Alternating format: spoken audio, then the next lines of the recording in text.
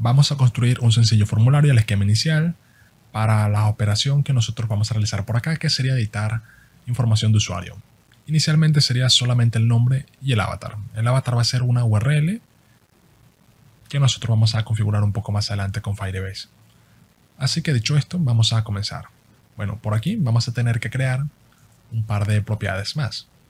Vamos a llamarla como final name controller, que va a ser igual a text editing controller, ya por aquí lo tenemos. Y también vamos a necesitar otro para el avatar. Colocamos avatar. Es más, vamos a necesitar un tercero que viene siendo para el formulario, la key.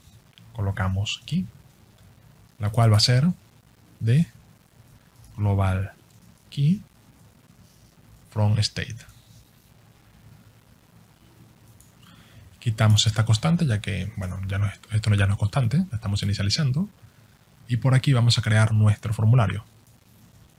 De momento sería un from.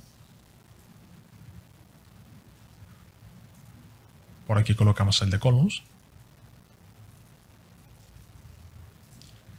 Y por aquí vamos a definir nuestros campos. El de text from field. Le indicamos el controller, que va a ser el de name controller. Colocamos una coma. Voy a clonar este y este viene siendo para el avatar. Y finalmente un botón, un botón de tipo submit. Así que colocamos acá el de text button.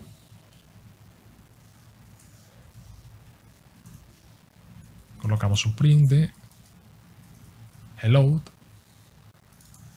Y aquí colocamos update.